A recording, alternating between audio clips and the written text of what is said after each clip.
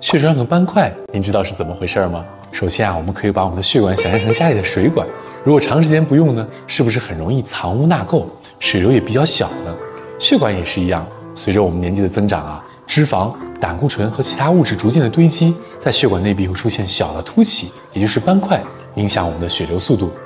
斑块的形成呢是一个逐渐的过程，一开始啊可能很小，不容易察觉，但随着时间的推移呢，这些斑块就会逐渐的变大。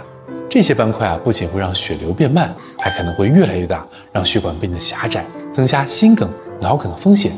并且，如果斑块破裂了，我们血液中血小板和凝血因子就会像消防员一样迅速赶来修补伤口。但是有时候他们修补的过于积极，反而形成了血栓。血栓啊，就像一块大石头挡在血管里，让血流变得非常的困难。轻的话呢，可能会影响局部的血液供应，比如说疼痛啊、麻木。严重的话呢，血栓可能会完全堵住血管，让重要的器官缺血甚至坏死，非常危险。比如心肌梗死、脑卒中等等。更可怕的是，血栓还可能会脱落，随着血液流动到其他地方，比如说静脉血栓脱落导致肺栓塞。我们有很多方法可以预防斑块和血栓的形成，比如坐久了可以站起来走走，活动活动身体；饮食上少吃高脂肪、高胆固醇和高糖的食物，减少血栓的风险。